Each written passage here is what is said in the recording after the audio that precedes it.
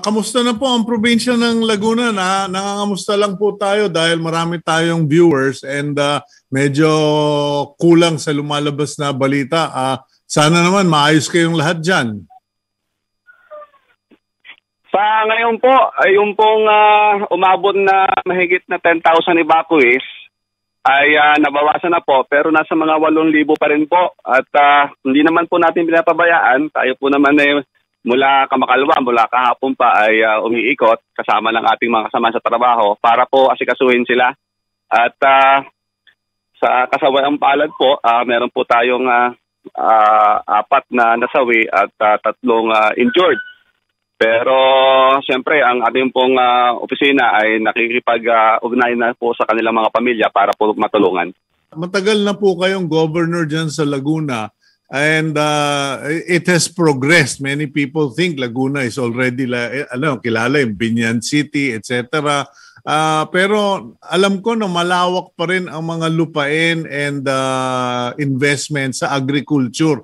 Ano ho ba sa tingin ninyo ang uh, tama nitong Typhoon Paeng sa agricultural sector dyan sa Laguna? Kasi malawak yung agriculture, pati yung ating mga power facility meron din dyan, di ba?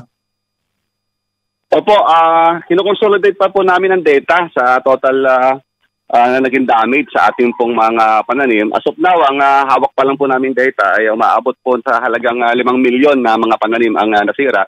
But uh, uh, more than that po, kasi uh, kinoconsolidate pa po namin yung report galing po sa different uh, LGUs pa ng, uh, ng, ng Laguna, different municipalities and uh, cities.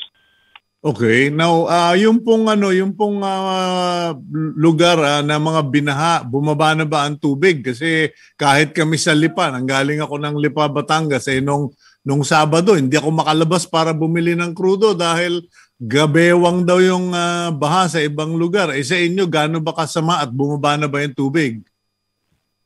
Bahagya pa lang po, uh, bahagya pa lang pong bumaba. Kaya nga po medyo nabawasan na po yung nasa evacuation center. Pero mm-hmm uh, marami pa rin po talagang uh, pagbaha sa kasalukuyan. Uh, pero compare po kahapon, uh, medyo nabawasan po ng konti.